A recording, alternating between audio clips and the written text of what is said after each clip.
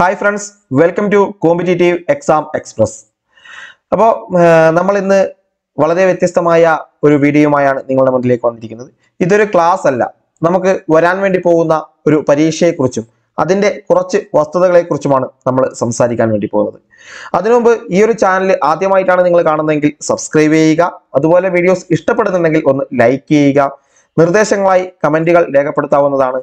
പിന്നെ വീഡിയോ ഉപകാരപ്രദമാണെന്ന് തോന്നുന്നുവെങ്കിൽ അത് നിങ്ങളുടെ സുഹൃത്തുക്കൾ കൂടി ഒന്ന് ഷെയർ ചെയ്ത് കൊടുക്കുക. പിന്നെ കോമ്പറ്റേറ്റീവ് എക്സാം എക്സ്പ്രസ് എന്ന ഞങ്ങളുടെ ടെലഗ്രാം ചാനലിൽ കൂടി അംഗമാകാൻ ഒന്ന് ശ്രമിക്കുക. അതിലൊരുപാട് നോട്ടുകളും ഇമേജുകളും ഒക്കെ നമ്മൾ പ്രൊവൈഡ് ചെയ്യുന്നുണ്ട് ക്ലാസ്സുകളും പ്രൊവൈഡ് ചെയ്യുന്നുണ്ട്. അപ്പോൾ താല്പര്യമുള്ളവർക്ക് അതിൽ ജോയിൻ ചെയ്യാവുന്നതാണ്. ഓക്കെ നമ്മൾ ഇന്ന് പറയാൻ വേണ്ടി തോന്നുന്നത് രണ്ടായിരത്തി ഇരുപത്തിനാലിൽ നടക്കുന്ന എൽ ഡി സി പരീക്ഷയെക്കുറിച്ചാണ്. രണ്ടായിരത്തി ഇരുപത്തിനാലിൽ നടക്കാൻ വേണ്ടി പോകുന്ന എൽ ഡി സി പരീക്ഷ വിജ്ഞാപനം ഈ വർഷം അവസാനത്തോടെ ഒക്ടോബർ നവംബർ മാസത്തോടെ നമ്മൾ പ്രതീക്ഷിക്കുന്നുണ്ട്. അപ്പൊ അതിനു മുമ്പ് നമുക്കൊരു ആറു മാസത്തെ തയ്യാറെടുപ്പ് എങ്ങനെ തുടങ്ങാം എന്നാണ് നമ്മൾ ഈ ഒരു വീഡിയോയിലൂടെ നിങ്ങളിലേക്ക് എത്തിക്കുന്നത്. അതായത് ഒരുക്കം തുടങ്ങാം. അമാന്തിക്കരുത്. ഇനിയും താമസിച്ചാൽ ഒരുപക്ഷെ നഷ്ടം നമുക്ക് തന്നെയാണ്. ഒരുപാട് പരീക്ഷകൾ നമ്മളിൽ നിന്ന് അകന്നുപോയി. അല്ലെങ്കിൽ നമ്മളത് വേണ്ടത്ര ശ്രദ്ധ കൊടുക്കാതെ ഉപേക്ഷിച്ചു. അല്ലെങ്കിൽ അത് നമ്മെ വിട്ടുപോയി പക്ഷെ ഇനി വരുന്ന പരീക്ഷകളൊന്നും നമ്മൾ നമ്മെ വിട്ടു പോവാൻ അനുവദിക്കരുത്. നമ്മുടെ റാങ്കുകളും അല്ലെങ്കിൽ നമ്മുടെ പേരും വരുന്ന റാങ്ക് ലിസ്റ്റ് മാത്രമേ ഇനി പബ്ലിഷ് ചെയ്യാവൂ പി എസ് സി എന്ന് നമ്മളൊരു തീരുമാനമെടുത്താൽ അത് ഏറ്റവും ഉറച്ചതാണെങ്കിൽ നിശ്ചയദാർഢ്യത്തോടെയുള്ളതാണെങ്കിൽ നമ്മുടെ പേരും ആ ഒരു റാങ്ക് ലിസ്റ്റിൽ ഇടം നേടും. ആ ഒരു റാങ്ക് ലിസ്റ്റിൽ നമ്മുടെ പേര് ഇടം നേടണമെന്ന് ആഗ്രഹമുള്ളവർക്ക് അങ്ങനെ ഒരു സർക്കാർ ജോലി സ്വന്തമാകണമെന്ന് ആഗ്രഹിക്കുന്നവർക്ക് ഈ ഒരു വീഡിയോ ഇനി മുതൽ കണ്ടു തുടങ്ങാം. കാരണം രണ്ടായിരത്തി ഇരുപത്തിനാല് എൽ ഡി സി പരീക്ഷയിൽ നമ്മൾ ഉണ്ടായിരിക്കും ഏറ്റവും ആദ്യത്തെ റാങ്കിൽ തന്നെ എന്ന് അങ്ങനെ ചിന്തിച്ച് തയ്യാറെടുപ്പ് തുടങ്ങുന്ന ഏതൊരാൾക്കും ഈ ഒരു വീഡിയോയുടെ കൂടെ വരാം. നിങ്ങൾക്ക് ഏറ്റവും മികച്ച രീതിയിലുള്ള ആ ഒരു കാര്യങ്ങളാണ് ഇവിടെ പറഞ്ഞു തരുന്നത്. ഇപ്പൊ നമുക്ക് എൽ ഡി സി രണ്ടായിരത്തി ഇരുപത്തിനാല് ഒരുക്കം തുടങ്ങാം. ആറു മാസത്തെ പരിശീലനമാണ് നമ്മൾ ഈ ഒരു വീഡിയോ കൊണ്ട് ലക്ഷ്യമിടുന്നത്. അതായത് ആറു മാസം കൊണ്ട് നമ്മൾ ഏറ്റവും മികച്ച രീതിയിൽ സിലബസ് കവർ ചെയ്യും മോക്ക് ടെസ്റ്റുകൾ കവർ ചെയ്യും അതുപോലെ മുൻവർഷ ചോദ്യപേപ്പറുകൾ കവർ ചെയ്യും. അങ്ങനെ എല്ലാ രീതിയിലും നമ്മൾ ഏറ്റവും മികച്ച രീതിയിൽ തന്നെ ആറു മാസം കൊണ്ട് ഈ ഒരു എൽ ഡി സിക്ക് വേണ്ടിയിട്ടുള്ള പരിശീലനം പൂർത്തിയാക്കും. പരീക്ഷ എപ്പോൾ വരുന്നോ ആ ദിവസം വരെ നമ്മൾ എന്ത് ചെയ്യും? ഇതിന് പിന്നാലെ നമ്മൾ ഉണ്ടാവും. റിവിഷനുകളോട് റിവിഷനുകളായി ഏറ്റവും പുതിയ ആനുകാലികം നമ്മൾ വിശകലനം ചെയ്യും. എല്ലാം നമ്മൾ ചെയ്യും. ഏറ്റവും സമഗ്രവും സമ്പൂർണവുമായി നമ്മൾ ഈ ഒരു ക്ലാസ് നടത്തും. ആ ഒരു ക്ലാസിന്റെ കാര്യങ്ങളും മറ്റ് നിങ്ങൾ എന്തൊക്കെ ചെയ്യണം എന്നതുമാണ് നമ്മൾ അടുത്തായി പറഞ്ഞിരിക്കുന്നത്. ഏറ്റവും ആദ്യം നമ്മൾ ചെയ്യേണ്ടത് എന്താണ്?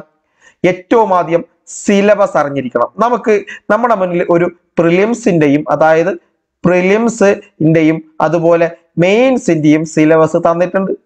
മെയിൻസിന്റെയും പ്രിലിംസിന്റെയും സിലബസ് നമ്മുടെ കയ്യിലുണ്ട്.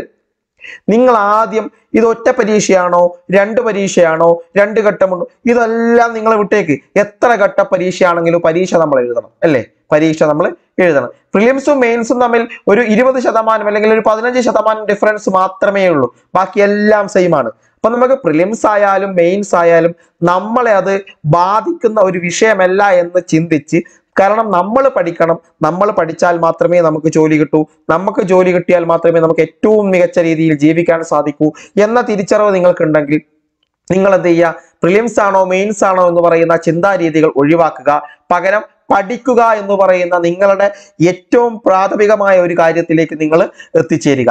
അവിടെ പ്രിലിംസോ മെയിൻസോ എന്തുമാവട്ടെ ഇനി ഒറ്റഘട്ട പരീക്ഷ എന്ന രീതിയിൽ മെയിൻസ് മാത്രമായിക്കൊള്ളട്ടെ.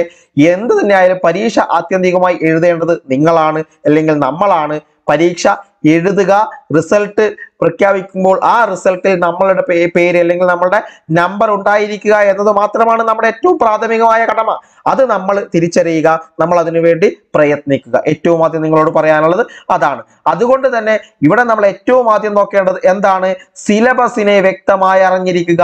പ്രിലിംസിന്റെയും മെയിൻസിന്റെയും സിലബസ് ഉണ്ട്. രണ്ടിന്റെ സിലബസും ഒരുപോലെ വെച്ചുകൊണ്ട് മുന്നോട്ട് പോവുക. പ്രിലിംസും മെയിൻസും സിലബസ് നിങ്ങൾ ഏറ്റവും മികച്ച രീതിയിൽ അപഗ്രഥനം ചെയ്യുക. രണ്ടിലും കോമൺ ആയിട്ടുള്ള വസ്തുതകളെ ആദ്യം നിങ്ങൾ എടുത്ത് എടുക്കുക. എന്നിട്ട് അത് പഠിച്ചു തുടങ്ങുക. ഏറ്റവും കോമൺ ആയിട്ട് രണ്ട് സിലബസിലും എന്തൊക്കെയുണ്ടോ അത് കോമൺ ആയി പഠിച്ചു തുടങ്ങുക. അതാണ് നിങ്ങൾ ആദ്യം വേണ്ടത്. സിലബസിനെ വ്യക്തമായി മനസ്സിലാക്കുക. സിലബസ് ഒരു ഒന്നോ രണ്ടോ മൂന്നോ നാലോ തവണ നിങ്ങൾ എന്ത് ചെയ്യുക? വായിച്ച് വായിച്ച് വായിച്ച് അത് ഹൃദ്യസ്ഥമാക്കുക. സിലബസിലെ ഒരു പോയിന്റ് പോലും നമുക്ക് അറിയില്ല എന്ന് പറയാൻ വരുത്തരുത്. അത് നമ്മൾ വ്യക്തമായി പഠിച്ചു വെക്കുക. ഏറ്റവും അധികം പ്രാഥമികമായി ചെയ്യേണ്ടത് അതാണ്. അതിനുശേഷം മാത്രമേ ഇതിലേക്ക് പോകാവൂ. പിന്നെ എക്സാം എന്താണ് എൽ ഡി ക്ലർക്ക് എക്സാം എന്നതിനെ കുറിച്ച് ഏറ്റവും ബേസ് ആയ ഒരു കാര്യങ്ങൾ കൂടി നിങ്ങൾ മനസ്സിലാക്കുക. എൽ ഡി സി എക്സാം എന്താണ്? എൽ ഡി സി എന്ന് പറഞ്ഞാൽ എന്താണ്? ഈ ഒരു കാര്യം നിങ്ങൾ അടിസ്ഥാനപരമായി മനസ്സിലാക്കുക.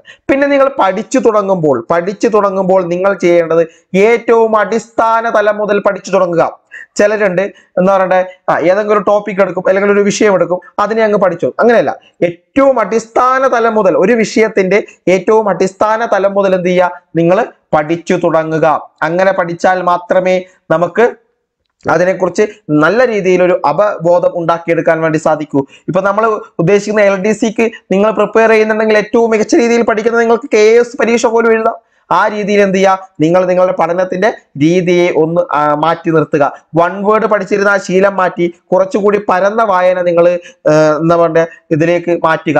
പാഠപുസ്തകം വ്യക്തമായി വായിക്കുന്നത് പോലെ ഒരു കേരള ചരിത്രം നമ്മൾ വായിക്കുന്ന പാഠപുസ്തകം അല്ലാതെ ബുക്കുകൾ വായിക്കുന്നില്ലേ? ശ്രീധര മേനോൻ സാറിന്റെ ഒക്കെ ബുക്കുകൾ വായിക്കുന്ന പോലെ ആ രീതിയിൽ എന്ത് ചെയ്യുക നിങ്ങൾ ഓരോന്നും പഠിച്ചു തുടങ്ങുക. ഏറ്റവും അടിസ്ഥാനപരമായ കാര്യം മുതൽ നിങ്ങൾ പഠിച്ചു തുടങ്ങുക. പിന്നെ ഇതിന്റെയൊക്കെ പ്രാഥമികമായി നിങ്ങൾ ചെയ്യേണ്ടത് എന്താണെന്ന് വെച്ചാൽ ഇതിന്റെയൊക്കെ ഒരു നോട്ട്സ് ഉണ്ടാക്കുക. നിങ്ങളുടെ തന്നെ ഒരു നോട്ട്സ് അതായത് ഷോർട്ട് നോട്ട്സ് ഉണ്ടാക്കുക. ഷോർട്ട് നോട്ട്സ് എന്ത് ചെയ്യുക? നിങ്ങൾ തന്നെ ഉണ്ടാക്കുക. എല്ലാം വാരി വലിച്ചെഴുതണമെന്നല്ല പക്ഷെ നിങ്ങൾക്ക് മനസ്സിലാകുന്ന രീതിയിൽ പിന്നീട് ഒരിക്കൽ ആ ഭാഗവുമായി ബന്ധപ്പെട്ട് നിങ്ങൾക്ക് ഡൗട്ട് വരുന്ന സമയത്ത് എടുത്തു നോക്കാൻ നിങ്ങൾക്ക് തന്നെ പഠിക്കാൻ നിങ്ങൾക്ക് തന്നെ റിവിഷൻ ചെയ്യാൻ വേണ്ടിയിട്ടുള്ള ഒരു നോട്ട് അത് ആരുണ്ടാക്കണം? അത് നിങ്ങൾ തന്നെ ഉണ്ടാക്കണം. അങ്ങനെ ഒരു നോട്ട്സ് നിങ്ങൾ ഉണ്ടാക്കി വെക്കുക. പിന്നെ ഇതാ ദിവസവും ആനുകാലികവും കണക്കും ഇംഗ്ലീഷും മലയാളവും പഠിക്കുക. ഇത് നമ്മുടെ പരീക്ഷയിൽ ഏറ്റവും പ്രാധാന്യമുള്ള ഒരു ഭാഗമാണ്. കണക്കും ഇംഗ്ലീഷും മലയാളവും ആനുകാലികവും നമുക്ക് കറക്റ്റ് ആയി കഴിഞ്ഞാൽ ഒരു ഫിഫ്റ്റി പെർസെന്റേജ് നമ്മൾ കംപ്ലീറ്റ് ചെയ്തു. അതായത് രണ്ടായിരത്തി ഇരുപത്തി രണ്ട് മുതലുള്ള കറണ്ട് അഫയേഴ്സ് നമുക്ക് പഠിക്കണം. രണ്ടായിരത്തി ഇരുപത്തി രണ്ട് മുതൽ സോറി ഇരുപത്തി രണ്ട് മുതലുള്ള കറണ്ട് അഫയേഴ്സ് നമ്മൾ പഠിക്കുക. രണ്ടായിരത്തി ഇരുപത്തിനാല് വരെ. രണ്ടായിരത്തി ഇരുപത്തിരണ്ട് ഇരുപത്തിനാല് വർഷങ്ങളിലെ ആനുകാലികം എന്ത് ചെയ്യണം? നമ്മൾ ഏറ്റവും മികച്ച രീതിയിൽ പഠിക്കുക. രണ്ടായിരത്തി ഇരുപത്തിരണ്ടിലെ എല്ലാ കാര്യവും ചവറ് പോലെ വാരി വലിച്ച് പഠിക്കാനല്ല വളരെ പ്രധാനപ്പെട്ടത് ചോദിക്കാൻ സാധ്യതയുള്ളത് മുൻകാലങ്ങളിൽ ചോദിച്ചത് ഇങ്ങനെയൊക്കെ കണ്ടെത്തി നമ്മൾ എന്ത് ചെയ്യുക? അതിനെ ഒരു പ്രത്യേകമായി കണ്ടെത്തി അതിനു വേണ്ടി പഠിക്കുക. അതുപോലെ ഏറ്റവും ബേസ് ആയിട്ട് മുൻകാലങ്ങളിൽ കണക്കിൽ നിന്ന് വന്ന ചോദ്യങ്ങൾ ഏതൊക്കെ?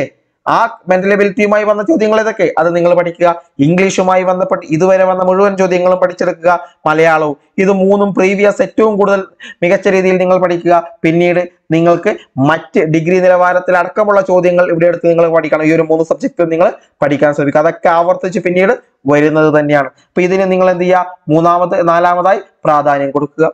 പിന്നെയുള്ളത് പാഠപുസ്തകം അരച്ച് കലക്കി പഠിക്കുക. പലരും ഇപ്പോഴും മടിച്ചു നിൽക്കുന്ന ഒന്നാണ് പാഠപുസ്തകം പഠിക്കാൻ. അല്ലെങ്കിൽ പാഠപുസ്തകവുമായി ബന്ധപ്പെട്ട വസ്തുതകൾ പഠിച്ചെടുക്കാൻ. നിങ്ങൾ മനസ്സിലാക്കുക എൺപത് ശതമാനം ചോദ്യങ്ങളും ഇപ്പോൾ വരുന്നത് പാഠപുസ്തകത്തിൽ നിന്ന് മാത്രമാണ്. അല്ലെങ്കിൽ എസ് സി ആർ ടി അതുപോലെ തന്നെ എൻ സി ആർ ടി പാഠപുസ്തകങ്ങളിൽ നിന്ന് മാത്രമാണ് എൺപത് ശതമാനം ചോദ്യങ്ങളും കടന്നു വരുന്നത്. എസ് സി ആർ ടിയെയും എൻ സി ആർ ടിയും അടിസ്ഥാനമാക്കിയാണ് നമ്മുടെ സിലബസ് പോലും തയ്യാറാക്കിയിരിക്കുന്നത്. നിങ്ങൾ മനസ്സിലാക്കുക. നമ്മുടെ സിലബസിലെ പല ടോപ്പിക്കുകളും നിങ്ങൾ നോക്കുക. അത് എവിടെ നിന്നാണ് എടുത്തിരിക്കുന്നത്? അത് എൻ സി ആർ ടി അല്ലെങ്കിൽ എസ് സി ആർ ടിയിൽ നിന്നാണ് എടുത്തിരിക്കുന്നത്.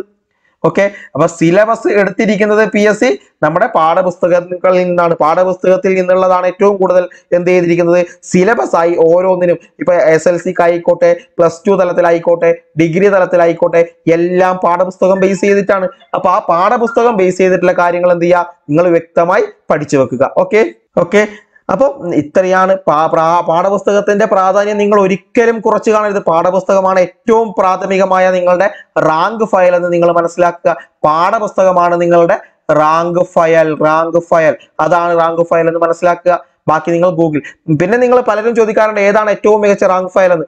പല ബുക്കുകളും ഇപ്പോൾ ഏറ്റവും മികച്ച റാങ്ക് ഫയൽ തന്നെയാണ് ഇറക്കുന്നത്. അതിൽ യാതൊരുവിധ പ്രശ്നവും കാണുന്നില്ല.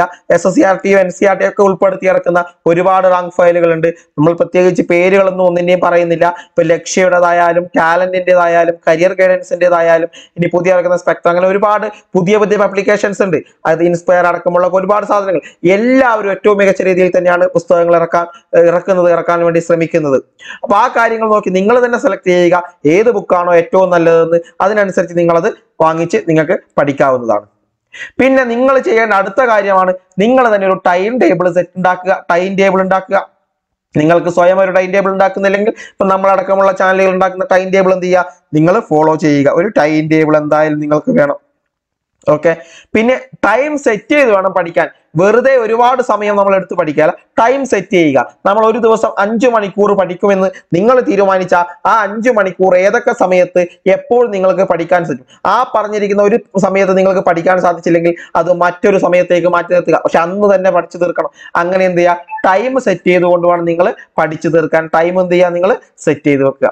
പിന്നെ റിവിഷനും മോക്ക് ടെസ്റ്റും വളരെ വളരെ പ്രാധാന്യമുള്ളതാണ് ഈ ഒരു റിവിഷനും മോക്ക് ടെസ്റ്റും എന്ന് പറയുന്നത്. എല്ലാ ആഴ്ചയും എന്ത് ചെയ്യുക? ശനിയും ഞായറും. സാറ്റർഡേ ആൻഡ് സൺഡേ നിങ്ങൾ റിവിഷനായി മാറ്റി വെക്കുക. സാറ്റർഡേയും സൺഡേ ശനിയും ഞായറും എന്ത് ചെയ്യുക? റിവിഷന് വേണ്ടി നിങ്ങൾ മാറ്റി വെക്കുക. അതുപോലെ എല്ലാ ആഴ്ചയും ഒരു മോക്ക് ടെസ്റ്റ് എങ്കിലും നിങ്ങൾ കംപ്ലീറ്റ് ആയി ചെയ്യുക. ഒരു മോക്ക് ടെസ്റ്റ് ചെയ്യുക.